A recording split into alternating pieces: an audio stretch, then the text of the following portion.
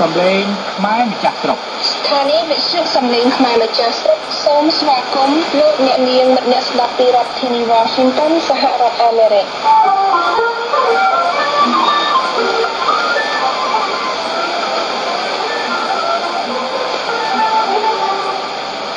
សួស្តីលោកអ្នកនាងនិងអ្នកស្ដាប់ទីមេត្រីនេះជាកម្មវិធីផ្សាយរយៈពេល30នាទីនៃវិទ្យុសំឡេងខ្មែរម្ចាស់ស្រុកនៅថ្ងៃពហុទី30ខែមេសាពុទ្ធសករាជ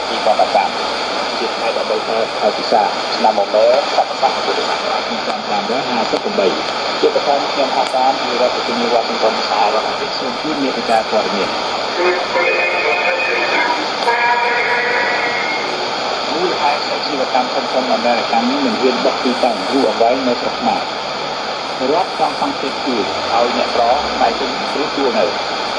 ពេលដំណងស្ថាប័នជាតិខ្លះសរសេរអក្សរខ្មែរមិនត្រូវតាមអក្សរាវិរុទ្ធ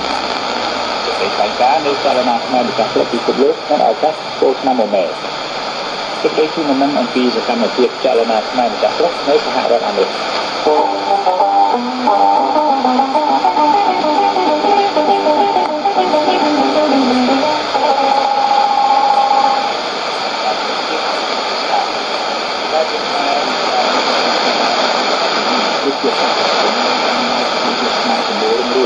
ពលរដ្ឋមានសុខភាពល្អ